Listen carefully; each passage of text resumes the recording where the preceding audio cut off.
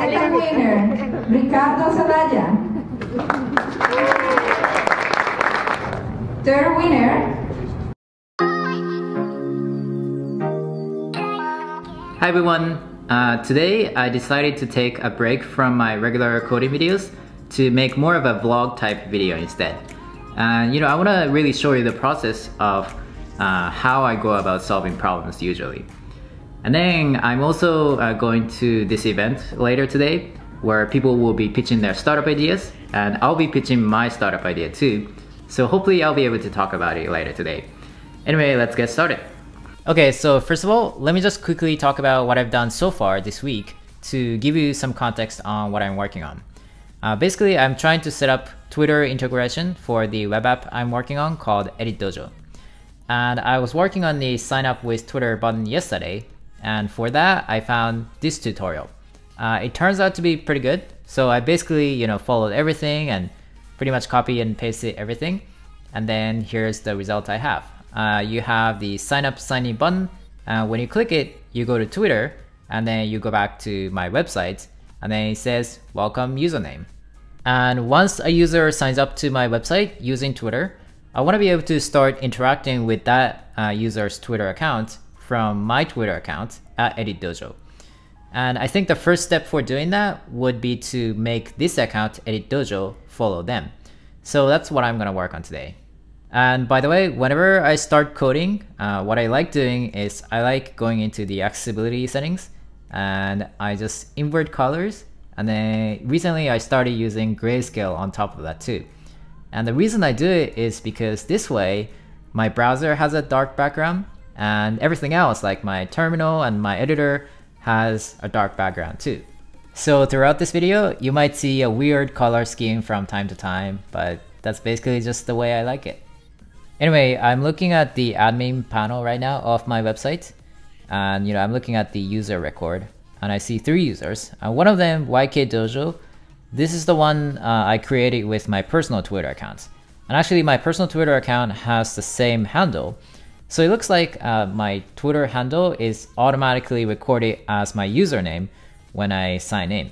So I guess what I'm gonna do here is I'm just gonna say whenever someone signs up for the first time, I'll log into the Edit Dojo uh, Twitter account, you know, just like I did in my Twitter bot tutorial, and then I'll follow uh, that user's account using the username.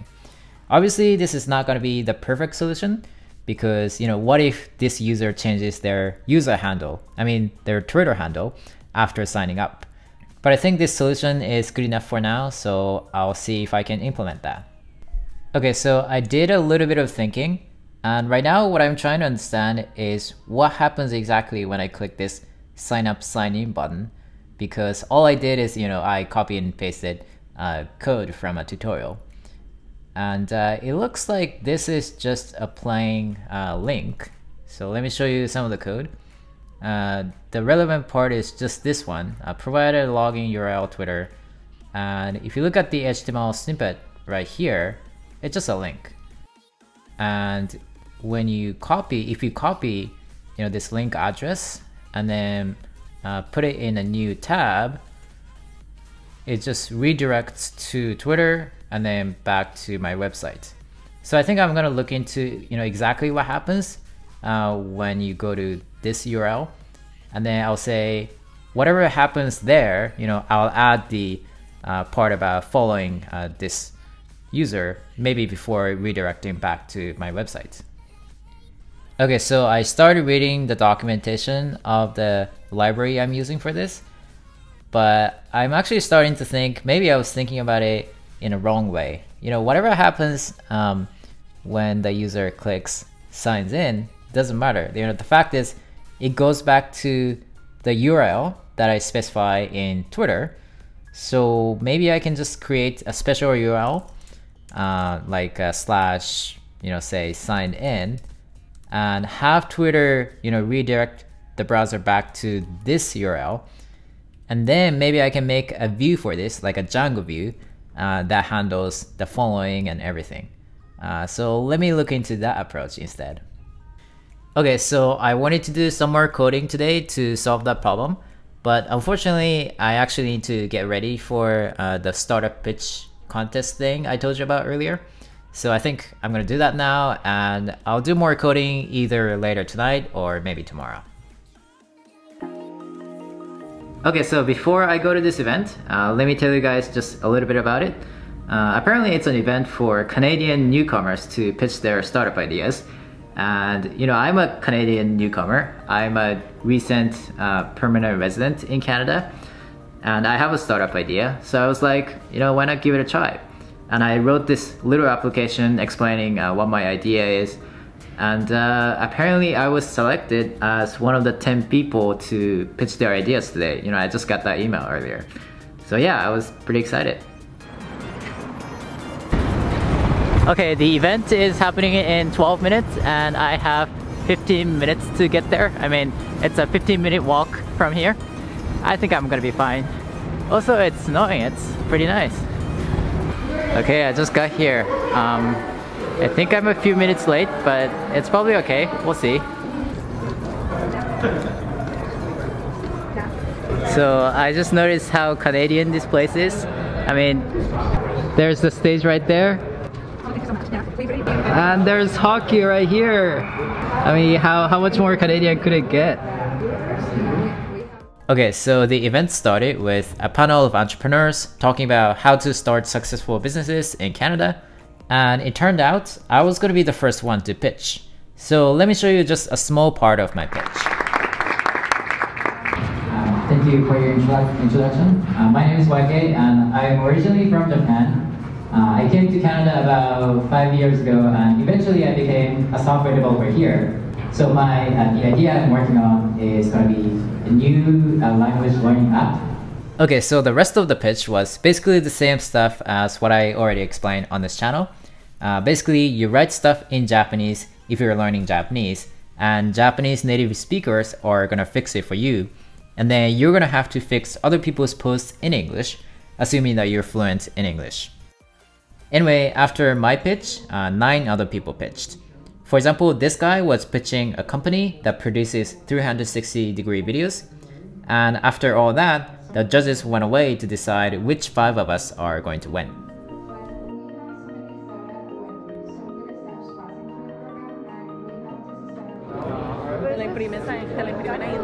Okay, and it turned out the first winner was the 360 view guy. Second winner, Ricardo Zelaya. And then he was the second winner, and the third winner turned out to be this guy. So at this point, I'm thinking, oh my god, I'm actually not gonna win. What am I gonna say to my subscribers? And then this happened.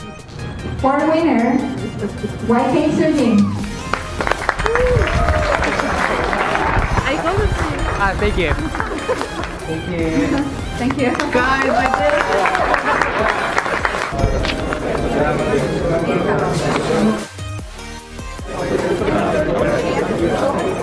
Alright, I'm done for the day. I'm super tired, but I'm happy that I won. Um, apparently there's going to be like a free week of um, bootcamp programs, startup bootcamp programs, but I don't know what's going to happen exactly. I'll probably talk more about it later on this channel. Okay, so that was pretty fun. But actually, after that, the last few days have been kind of slow, uh, partly because I needed to do some work for our first meetup in Toronto and the Discord server I recently set up for this channel. But I'm back at coding today. Okay, so I'm on Twitter's developer website now, and I was looking at this section, callback URL, and it looks like it goes to this URL. Uh, what I'm guessing what happens is when someone signs in uh, with Twitter, Twitter sends us back to that URL. And then the library that I'm using uh, for this purpose just handles that request. So I guess I'll need to either you know, do something with the library or maybe uh, when the library sends us to this root URL, um, maybe we can do something special with Django instead. Uh, let me think about that for a second. Okay, so I think that's what I'm gonna do uh, you know, whatever happens with the Twitter logging workflow, what happens is eventually, you know, we go back to this root path and then it goes to the login view. And in the login view, uh, we're just rendering this template login.html. So I guess what we can do is before we render that, we'll say uh, follow the user if the user is signed in and you know we haven't followed them yet. And yeah, that's pretty much all we need to do, I think. Okay, so I just searched for uh, Django get user in a view uh, because we need to be able to get the user's info in our view. And then I found Stack Overflow page and uh, I found this code snippet. Uh, it looks like this is a view that takes requests and then uh, to get the user, it looks like all we need to do say is request.user and then to get the username, we can do request.user.username. So let me see if that works.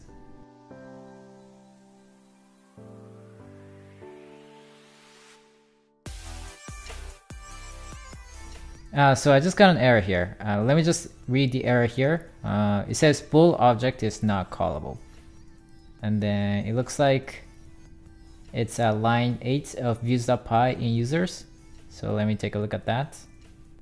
Okay, so it's right there. Uh, this is one of the lines I copied from Stack Overflow. And I think what's happening is this is just a boolean or bool, but we're trying to call it as if it's a function. So if we just delete these parentheses, hopefully it's gonna work. Uh, let's see if that's the case.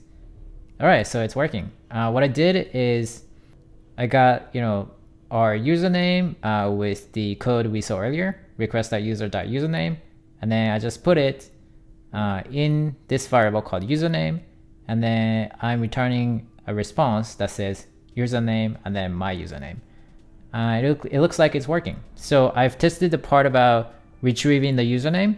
Now we just need to follow this account. Okay, and I think the way I'm gonna do that part is I'm gonna you know show you the strategy I'm gonna use uh, to go about it. And then when I'm done with the code, I'm gonna show you later. Uh, so basically the idea is gonna be, you know, once uh, the user is authenticated and once we retrieve the username, we'll say um, log into our special Twitter account at Edit Dojo and then uh, follow this user at username from that account. And I think at the end, what we want to do is uh, we want to be able to store some information about uh, if we follow them already or not. Because if we follow them already, you know, we don't have to follow them again. But maybe we'll uh, implement that later. Uh, we might not need to do that right now. So I'll say later, um, store some info about if we already follow them or not.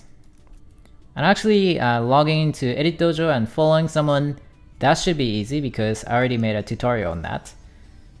So I'm just gonna use my open source code right here uh, for my Twitter bots. Here, uh, what I did is I logged into Edit Dojo and then I tweeted at someone. So I think what I'm gonna do is I'm gonna test you know this part of the code by tweeting at username. And then later I'm gonna change that part of the code and you know just a little bit to follow them instead. Okay, so let's get to coding.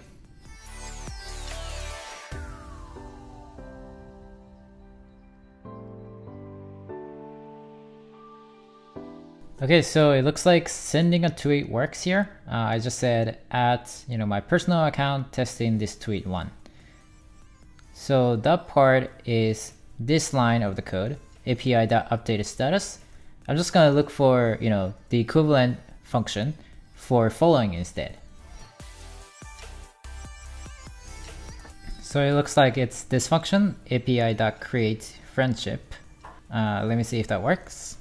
So I'm going to replace update status here with create friendship and then uh, maybe it's just going to be username here. Let's try that. I'm going to refresh uh, our homepage here. It looks like I got no error. So let's go to Twitter and then refresh Twitter. Oh, actually, I was already following myself. So let me unfollow myself and make sure I'm not following uh, my personal account anymore. And let me do the same thing again. No errors. And when I go to Firefox, yeah, I see it. Uh, it looks like this script is working. Uh, so there are a few things I still need to clean up here. I still need to take care of the case when uh, the user is not logged in. I think what I'm gonna do is I'll return early if the user is not logged in, you know, like right here. And then if the user is logged in, then, you know, grab the username and do this thing. Uh, you know, right now, all it does is just follow someone. Uh, it doesn't do that much, but you know, hopefully I'll have more functions later. So actually, you know, I think this is pretty much it for this video. I'll put all this code and more at csdojo.io slash edit as usual. And actually, you know, vlogging and coding at the same time was kind of hard. Uh, probably just partly because I'm not that used to it. So hopefully I'll focus more on coding this weekend and maybe a little bit uh, early next week. And uh, for the next video, I'll think of something else or, you know, I'll do another vlog. Uh, I'll think about that. Anyway, thank you as always for watching my videos. And oh, by the way, if you haven't uh, joined our Discord server, you should join us. And uh, I'll see you guys in the next video.